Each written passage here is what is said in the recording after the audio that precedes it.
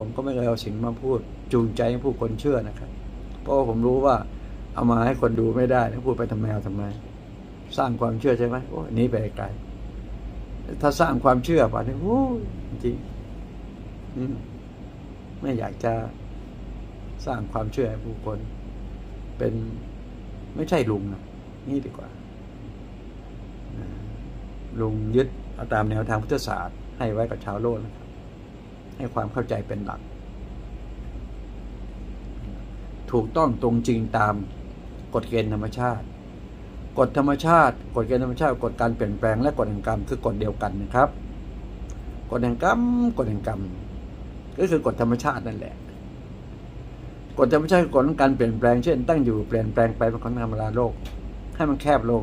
เกิดแก่เจ็บตายเป็นของธรรมดาเราและโลก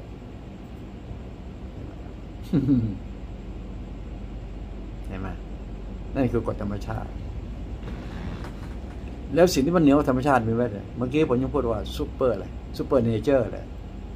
ต้องเหนือกว่าธรรมชาติครับจึงจะควบคุมธรรมชาติได้ ต้องมีศักยะศักยะเหนือกว่าธรรมชาติจึงจะควบคุมธรรมชาติได้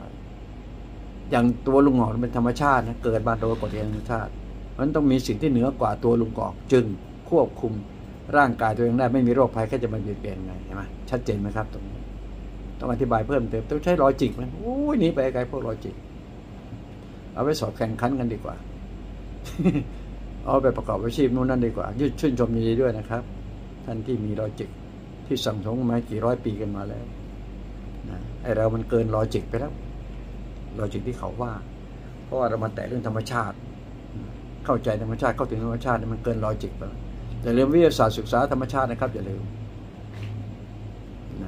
ในร่างกายเรามีทั้งเคมีชีวฟิสิกส์นะครับจำด้วยครับเห็นไหมศึกษาร่างกายเนี่ยทำไมลุงพูดเรื่องของวิชาเคมีฟิสิกส์อะไรต่างก็มันอยู่ในร่างกายเราทั้งหมดเออรู้ร่างกายเราก็รู้หมดสิครับจะเรืออะไรง่ายไหมฮะหลักเกณฑ์ของลุง ไม่ไม่ต้องพึ่งพึ่งพาอะไรใครเลยนะครับลองใช้หลักเกณฑ์ตามที่ลุงชี้แนะชี้นำลองดูสิครับ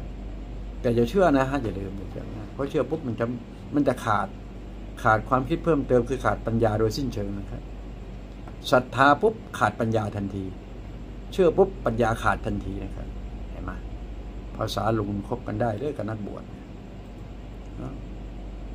จริงๆผมก็ชื่นชมนักบวชนะครับนักบวชก็ปรับตัวสิครับ เออจะให้ผู้หนึ่งก็ปรับตัวนักบวชได้ไงวะนักบวชก็ต้องปรับตัวสิครับ มนุษย์มีค่าเท่ากันนะอย่าลืม